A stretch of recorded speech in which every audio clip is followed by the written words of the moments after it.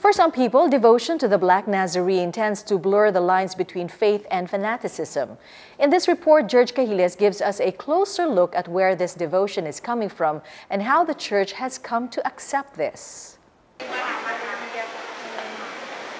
For 70-year-old Tess de Guzman, it is the Black Nazarene's mercy and compassion that made her a devotee.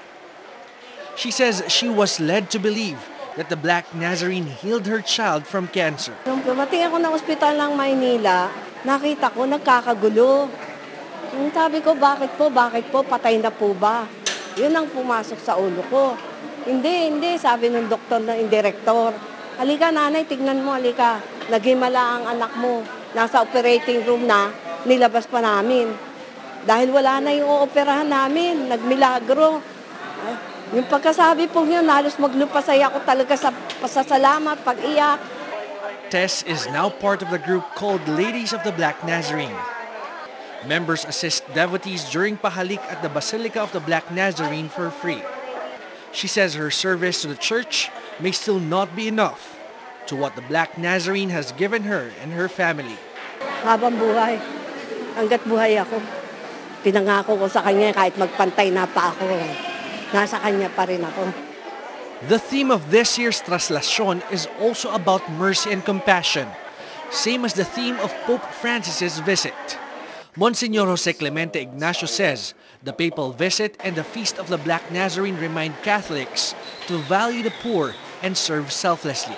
Masasabi natin ang simbahan ng Quiapo ay isang simbahan ng mga mahihirap. Kaya mas nakikita natin dito ang kagandahan ng uh, tema ng awa at habag na ating pon. Ignacio says the Nazarenes' generosity through granting people's wishes is one of the reasons why their devotion becomes stronger. He adds, more are drawn to join the annual procession, believing that this could ease their living conditions. Sinasabi na it's because of the poverty that's going around and the crisis na nangyayari and bahag, bahagi yan sa iba naman ng mga anthropologists ay sinasabi rin nila na halimbawa yung larawan ng mahal na pong Nazareno ay malaki ang pangaakit nito sa diwa at puso ng Pilipino in devotion mismo. Uh, yung mga elements ng devotion uh, touches the hearts of the Filipinos. Pero sa mga theologians, isa lang ang dahilan. Ang mahal na pong Nazareno mismo ang dahilan. Some may think the Black Nazarene's devotees' expression of faith may be too much or sometimes out of hand. But for Ignacio, the only way to understand a devotee is to become one himself. George Cahiles, 9 News.